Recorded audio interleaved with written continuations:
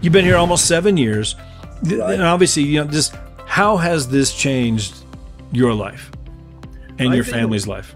I think it's helped me. I have five kids, Jeff. They're all adults now, of course. I have 5 mm-hmm. kids and nine grandkids. Uh, my daughter was here this week visiting in Puerto Rico, and she said, "Dad, you've helped me think bigger." Nice. I mean, it, she goes, You've always, what you've done for me is help me imagine a bigger life. I think what it's done for me and for my family and, and, and for others is I'm just trying to help them get out of the rat race and get out of thinking small or think, or just thinking, like you said, okay, uh, we got to go sell this many homes this year to make this much money and pay 40% in taxes and blah, blah, blah.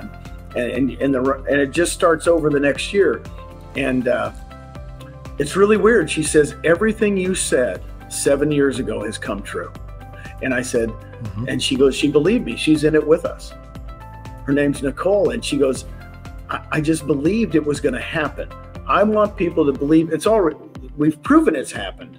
But I yeah. think for me and my family, I'm gonna I'm gonna be able to leave a legacy that's gonna live well past me, my friend, which is what I want to do. Yeah, absolutely changing lives around the world. So come on, baby.